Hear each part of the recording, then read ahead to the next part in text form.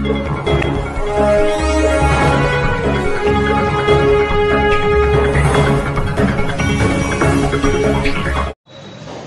जून 2024 को धुलिया शहर राष्ट्रवादी कांग्रेस पार्टी के पदाधिकारियों ने राष्ट्रवादी कांग्रेस पार्टी के प्रदेश सरचिटनीस इरशाद जागीरदार की सदारत में एसटी महामंडल अधिकारी को एक निवेदन दिया है। निवेदन में मांग की है कि बस स्टेशन पर हर तरफ़ गंदगी फैली रहती है। उसे फ़ौरन साफ़ किया जाए। बस स्टेशन पर हो रही आवाम की मोटरसाइकिल चोरी के मामला को फ़ौरन हल किया जाए। स्टेशन पर पीने का साफ़ पानी का इंतज़ाम किया जाए। और साथ ही कहा है कि हमारी मांग अगर फ़ौरन पूरी नहीं की गई तो हम एक बहुत बड़ा आंदोलन करेंगे। निवेदन देने के वक्त तो कैलाश चौधरी, जया साळुंके उमेश महाजन, सुरेश अहिरे के अलावा पार्टी के सभी पदाधिकारी व कार्यकर्ता मौजूद थे। राष्ट्रवादी काँग्रेस पार्टी धुळे शहरतर्फे.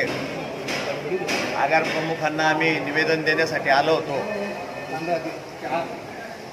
धुळे बस डेपोमध्ये स्थानक प्रमुख जे आहेत ते उपस्थित राहत नाही. त्याच्यामुळे नागरिकांना गैरसोय होते. आणि महिलांकडनं संडाशीचे पैसे वसूल केले जातात की जे फ्री ऑफ चार्ज आहे. आणि वेळोवेळी कंप्लेंट करून देखील सुद्धा आम्हाला आगार प्रमुखांनी सांगितलं की आम्ही त्यांना वेळोवेळी दंड केलेला आहे. पण त्यांना जो दंड होतो त्यापेक्षा काही पटीने तो पैसे वसूल करतात रोज. त्यामुळे आम्ही आगार प्रमुखांना विनंती केली की ह्या लोकांना तेथून बदलण्यात यावे जेणेकरून दुसऱ्याला तरी हे पोचेल की असे प्रकार केल्यास आपला रोजगार जाऊ शकतो. आणि स्वच्छतेच्या बाबतीत आम्ही आगार प्रमुखांना सूचित केलं आहे की स्वच्छता आणि सी सी टी व्ही कॅमेरे हे त्वरित सुरू करण्यात यावे जेणेकरून ह्या सहा दिवसामध्ये सहा मोटरसायकली बसस्थानकातनं चोरीत गेलेल्या आहेत.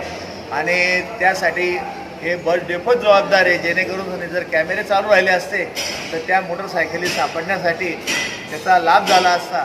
म्हणून आम्ही आगार प्रमुखांची भेट घेऊन पुढील सात दिवसामध्ये यामध्ये काही नवे बदल घडून आले नाही तर राष्ट्रवादी काँग्रेस पार्टी तीव्र स्वरूपाचं आंदोलन आणि स्थानक प्रमुखाबद्दलच्या विरोधामध्ये कारवाई न केल्यामुळे आम्ही तीव्र स्वरूपाचं आंदोलन छेडू असा इशारा आम्ही आगार प्रमुखांना दिलेला आहे.